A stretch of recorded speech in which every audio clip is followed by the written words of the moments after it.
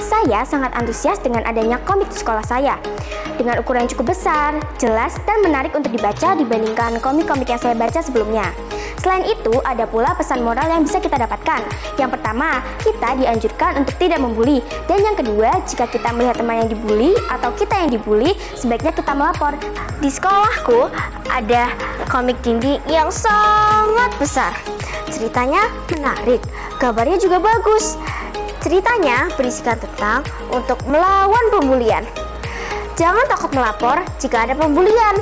Saya senang sekali di dinding sekolah ada komik yang berjudul Ayo lawan si bully. Isinya tentang kita tidak boleh membuli satu sama lain orang di sekitar kita. Jadi, jika ada orang yang mau membuli kita atau orang lain, kita harus melaporkannya ke polisi.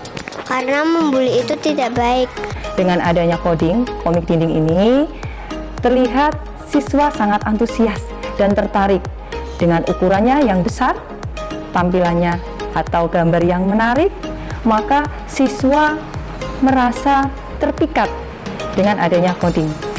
Hal ini sangat bermanfaat untuk meningkatkan kemampuan literasi anak. Harapan kami dengan adanya KIPIN, maka budaya literasi siswa di sekolah kami menjadi meningkat. Dengan coding ini, siswa merasa tergugah, merasa termotivasi dalam meningkatkan kemampuan literasinya.